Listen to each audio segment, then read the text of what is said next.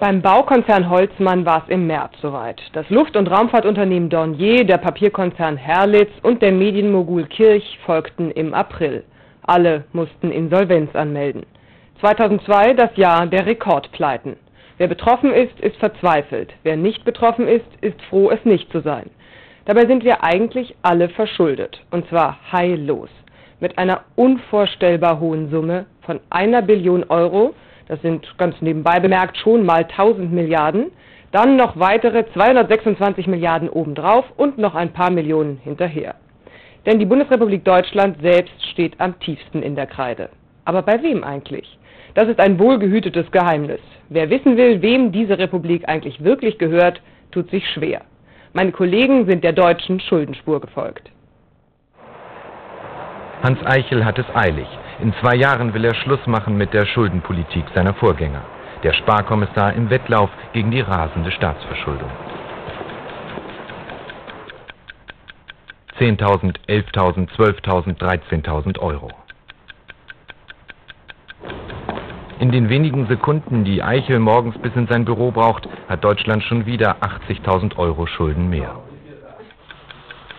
Deutschlands Schulden eine unvorstellbare Summe. 1226 Milliarden und viele Millionen Euro. Und sie tickt unbarmherzig weiter, die Schuldenuhr, die der Steuerzahlerbund aufgestellt hat. Da tickt eine Zeitbombe und das heißt, wir haben durch äh, Schulden in der Vergangenheit einen Großteil unserer Zukunft verfrühstückt. Deswegen können wir so nicht weitermachen. Eine Nobeladresse im Frankfurter Norden, hier sitzen die Leute, die Deutschlands Schulden managen. So effizient wie möglich Geld für den Bund beschaffen, die Aufgabe der Elitetruppe in der Bundesrepublik Deutschland Finanzagentur GmbH.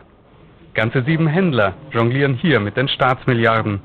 Hat der Bund etwa am Morgen zu wenig Geld, um seine Rechnungen zu bezahlen, wird das kurzerhand besorgt. Schnellverschuldung. Heute konkret war es zum Beispiel so, dass wir eine Summe von etwa 4 Milliarden Euro im Markt aufnehmen mussten. Also die Bundesrepublik Deutschland braucht heute 4 Milliarden Euro. Völlig richtig.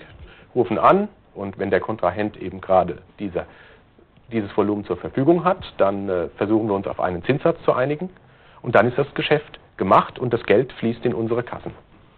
Geräuschlos und diskret werden Milliarden für Deutschland besorgt. Auch die schwindelerregenden Schuldensummen, die die Agentur auf dem Markt hin und her verschiebt, sind hier Alltag. An diese Zahlen gewöhnt man sich, ob da drei Nullen mehr dran hängen oder drei Nullen weniger da sind. Äh, das geht in Fleisch und Blut über, äh, das lässt einen nicht mehr schlecht schlafen. Auch nicht der Handel mit Schatzanweisungen, den langfristigen Schuldscheinen der Republik. Der Staat als Schuldner ist so begehrt, dass die Banken sich überbieten, um ihm Geld zu leihen. Wir haben heute zum Beispiel sechsmonatige Schatzanweisungen des Bundes verauktioniert. Das heißt, wir bieten die einer bestimmten Bankengruppe an. Und wir wollten eigentlich 5 Milliarden aufnehmen. Und die Banken haben uns Gebote für 17,3 Milliarden reingereicht. Denn für sie kann der Staat nicht genug Schulden machen, die Banken, Profiteure der Verschuldung. Für jeden Kredit kassieren sie Zinsen und Provisionen, jedes Jahr zig Milliarden Euro. Ein Bombengeschäft und ganz diskret abgewickelt. Kein Wunder, dass die Liste der Gläubigerbanken nicht unbedingt an die Öffentlichkeit soll. Denn ihnen gehört Deutschland. Ganz oben die Deutsche Bank, dann Morgan Stanley, Dresdner Bank, Merrill Lynch. Die Crème de la Crème der internationalen Hochfinanz. Kreditsummen und Zinsgewinne werden gehandelt wie Staatsgeheimnisse, Interviewanfragen zwecklos. Die Deutsche Bank kein Kommentar. Die Dresdner Bank kein Kommentar. Die Commerzbank kein Kommentar. Die Banken kassieren, Eichel zahlt, der Steuerzahler haftet.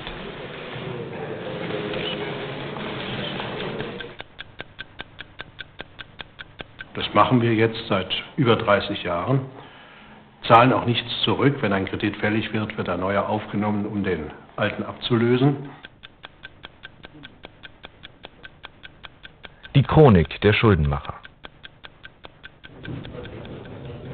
1971. Der letzte Aufstand der Anständigen. Bundesfinanzminister Möller tritt zurück. Der Grund? In zwei Amtsjahren ganze drei Milliarden Euro neue Schulden. Der Neue hält es nur ein Jahr aus. Karl Schiller sagte damals, er könne keine Politik machen unter dem Motto Nach mir die Sintflut. Rücktritt wegen 2 Milliarden Neuverschuldung. 1972. Der Nachfolger hatte weniger Skrupel. Finanzminister Helmut Schmidt machte 5 Milliarden Euro Schulden und wurde Kanzler. Die Gesamtschulden von Bund, Ländern und Gemeinden damals 91 Milliarden Euro.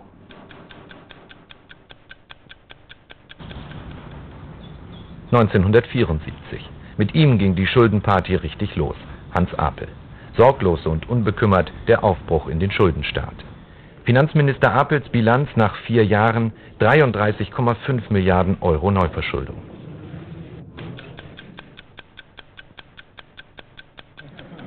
(1978) Hans Matthöfer, der nächste Finanzminister, sorgt für noch verrücktere Schuldenrekorde, 56 Milliarden Euro Miese.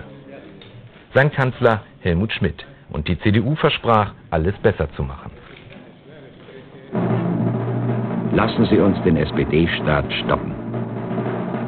Mit der hemmungslosen Schuldenmacherei der Regierung Schmidt-Genscher kann es so nicht weitergehen. Ich schwöre es, so wahr mir Gott helfe. CDU-Wahlsieg Stoltenberg war nun selbst Kassenwart. Vorher große Worte und dann doch wieder neue Schulden, 75 Milliarden. 1989 Theo Weigel und die Deutsche Einheit. Natürlich kreditfinanziert. Die Schulden explodierten. Weigels Horrorbilanz 428 Milliarden Euro neue Schulden. 1998 standen Bund, Länder und Gemeinden mit über 1,1 Billionen Euro in der Kreide. Heute sind es schon wieder 100 Milliarden mehr. Und auch in diesem Jahr macht Hans Eichel wieder neue Schulden, rund 21 Milliarden Euro nur für den Bundeshaushalt.